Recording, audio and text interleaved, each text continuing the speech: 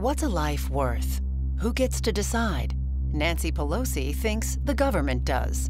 Under Pelosi's socialist drug takeover plan, Washington controls the prescription drug market. That means fewer breakthrough cures and less innovation like the COVID vaccine. With Washington in charge, maybe the life saving medicine you need still gets made. Or maybe it doesn't. Call Stephanie Murphy. Tell her to stop Pelosi's socialist drug takeover plan.